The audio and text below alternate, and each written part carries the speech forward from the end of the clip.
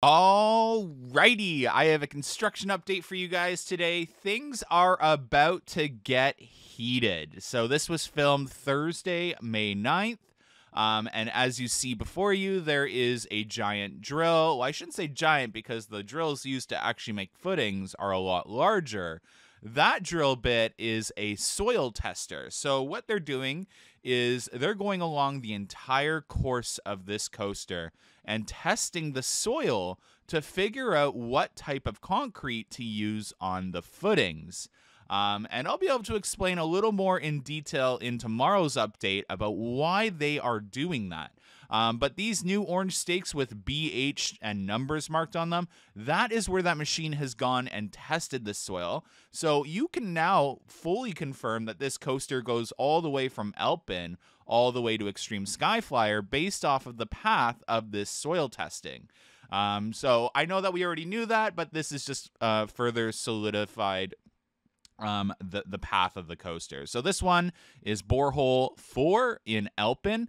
Um, this is where there is a large power source that has been kept, which is very interesting, but also a lot of large um, kind of caissons in the ground as well. So very confusing area. We then have this one in behind uh, Pizza Pizza.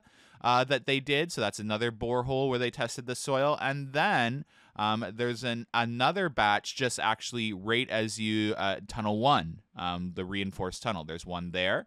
Um, and there's also uh, Extreme Skyflyers plot of land where they were doing a lot of boreholes. So they did about um, three, four, five, six boreholes in Extreme Skyflyer. I'll know the answer actually today on Friday when I go back and see how many stakes um, there are, or if they were just doing a really deep one in Extreme Skyflyer, which would make sense as well. But they were there for a good two hours, whereas the other bore- boreholes, um, they were just there for like 10, 15 minutes.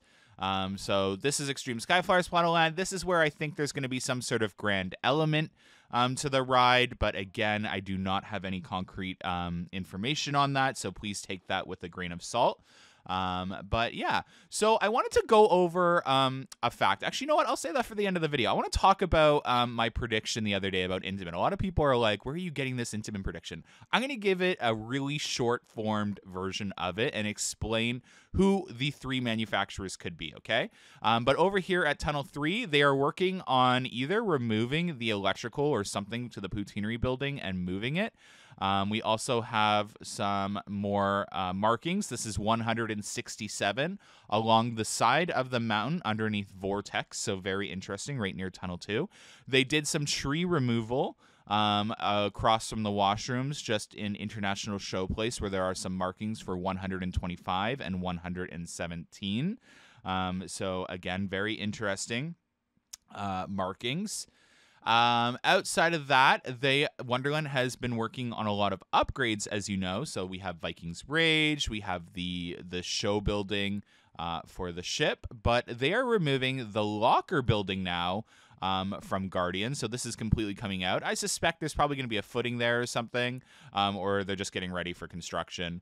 Um, but yeah, Guardian is still not open, um, which is interesting. The ship, no work going on in it. Again, this is a long project. This isn't something that's going to be ready for June. This is something that's going to be ready for July. Um, so it's a long haul project to get ready for that. Vikings Rage is still not ready. They are, from what I'm hearing through the rumor mill, waiting on an engineer to come program the ride. Um, here is a new bar. It looks really beautiful in Frontier Canada. And what's interesting is on the bars, if you if you've noticed, they have sheets that state Wonderland's capacity. So I thought I'd film that for you guys. So indoor 3,588. Um, and then outdoor capacity is 72,287. Um, so that is the capacity of the park. I thought I'd get that on film for you guys. And then this is Backlot's new paint job for the patio. I have to say I'm not liking it. It clashes. Um, but comment down below. Do you guys like it? I I'm I don't get the park's pastel. They're obsessed with pastels this season, and it's not working. Um, I wanted to film this building because I suspect a haunted house is going in here because they cleared out all the Winterfest storage in this building. Um, so it's been removed. So I suspect a haunted house. All right. So in my last video, I told you guys I fully predict Intamin for the manufacturer, and yes, I do predict Intamin. Um, but I wanted to discuss um, something else that I was talking about in that video that got a little overshadowed. Um, so if you go back and listen and watch, you'll say you'll hear me say that there is a huge possibility this could be Zamperla. So Zamperla is what I call the Intamin dupe. That's what I said in the video. So we don't have any fully custom built models by Zamperla on their Lightning launch coaster model. Um, and a lot of Intamin manufacturers or Intamin design people have moved over to Zamperla, so they could be using a lot of Intamin's old designs um, especially when it comes down to the spacers. Now, some of you even pointed out that it's really hard to predict the manufacturer based off of the threaded rod for a coaster. And that's simply not true. The threaded rod is actually a huge telltale sign about who the manufacturer could be. For example, I'm going to tell you guys that the three manufacturers that this ride could only be is Intamin, Premier, or um, Zamperla. Uh, I'm going to tell you this much that Premier and Intamin both show similarities to some of the stuff I've seen um, for our coaster. Uh, there's these hockey puck things on the threaded rod. If you look really closely, you'll see them. They look like hockey pucks. Well, they're called spacers, and Intamin is one of the main manufacturers that have used those. It relieves stress on the support column and helps spread it out um, for the ride. Uh, Intamin has a very much more thicker design to their spacers than other manufacturers and a lot larger of a design than other manufacturers. Um, Zamperla, we don't know. Um, so we have a, an example of a new Zamperla right there with Top Thrill 2's design, and it looks very large um, and similar to Intamin. Mack uses rebar as its threaded rod cage, whereas no other manufacturer does that. So Mack was an easy rule out. I can guarantee you guys, I will promise you this, it's not B&M, it's not Mack, um, it's not Gerstlauer. There's a very, very, very low chance that this is Vekoma, an extremely low chance. But again, I could be wrong about that. But we did a lot of research. Now, the three manufacturers, I'm going to tell you this. This, and again, this is my opinion based off of things I've seen. Um, there is about a 60 to 70% chance that this is going to be Intamin. There's about a 20% chance it can be Premier. And the only reason I will not rule out Premier is it came from a very reliable source of mine that Premier is the manufacturer of our 2025 coaster. Now, there is a good chance I could be completely wrong and it does end up being Premier.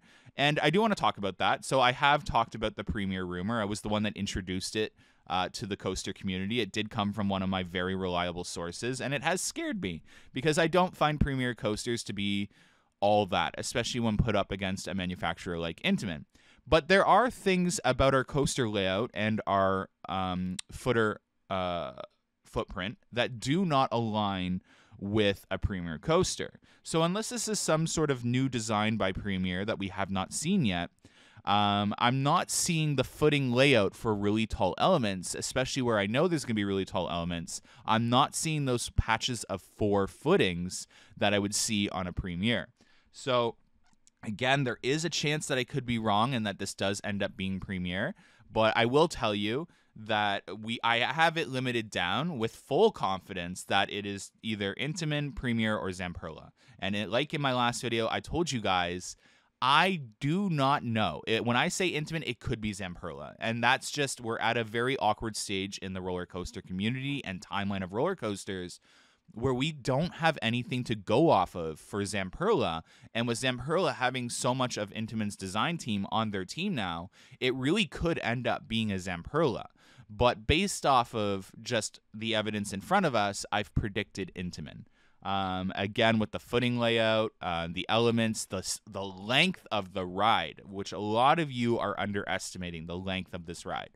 Um, it just really screams Intamin. Um, but I promise you guys, I when I get concrete evidence of what manufacturer it is, like a full on concrete concrete evidence where I'm able to rule out every single manufacturer but one, I will tell you. I will tell you. But um, the fact that we have it limited down to three manufacturers this early in the game is a pretty good um, place to be in in terms of this coaster. So I, I, mean, those three manufacturers. If you look at Full Throttle, a really long version of Full Throttle would be amazing at Canada's Wonderland. A really long version of Zamperla's Lightning model would be amazing at Canada's Wonderland, and of course, an Intamin LSM launch coaster would be amazing at Canada's Wonderland. So in my opinion, it's a win-win no matter what. Um, so yeah, I'm really excited. Can't wait to show you guys more. I just wanted to come out and explain it a little more detailed because a lot of people were taking, uh, missing the little tidbits, the little percentages I threw out there about the other two manufacturers. I do fully believe it's Intamin, but there were two other manufacturers that I did throw in there and I didn't word it perfectly for you guys. So, um, yeah. Anyways, thanks so much for watching. Um, stay tuned for tomorrow's construction update. I'm sure we'll have some tea. Have a good one, guys. Bye.